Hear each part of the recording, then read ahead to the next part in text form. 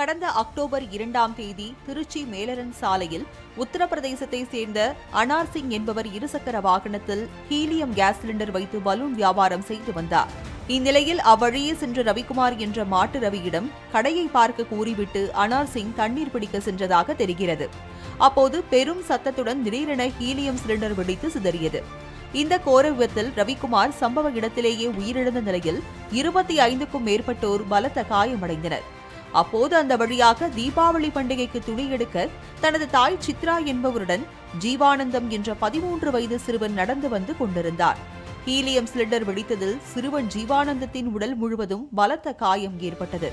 குறிப்பாக கண்களை சுற்றி சிறு கற்கள் தாக்கியதால் பார்வை குறைபாடும் ஏற்பட்டுள்ளதாக மருத்துவர்கள் கூறியுள்ளனர். ரெண்டாவது பையன் வந்து இந்த சீலியம் பலூன் வெடித்து சிலிண்டர் வெடித்து இப்போ ஹாஸ்பிட்டலில் இருக்கான். பெரிய பையனும் வீட்டில் இருக்கான். ரெண்டாவது பையன் மூணாவது வந்து குழந்த ஒரு பொண்ணு இப்போ குழந்த இருக்குது தம்பி தீபாவளிக்கு ட்ரெஸ் எடுக்க போனான் பையன் அங்கே போகும்போது அந்த சீலியன் சிலிண்டர் வெடித்து ரொம்பவே உடம்பு ஃபுல்லாகவே ரொம்ப தீக்காயமாயிருச்சு. கண் ஃபுல்லாக உடம்பு அந்த கல் வந்து உடம்பு ஃபுல்லாகவே பட்டுருச்சு பையனுக்கு. பட்டு வயிற்றுல ஃபுல்லாகவே எல்லாமே உடம்பு ஃபுல்லாகவே ஃபுல்லாக டேமேஜ் ஆயிடுச்சு குடல் எல்லாமே. இப்போ கண்ணு தான் ரொம்ப பாதிக்கப்பட்டுருச்சு. இப்போ நாங்கள் இருபத்தி அஞ்சு நாளாக அரசு மருத்துவமனை திருச்சியில் தான் இருக்கோம்.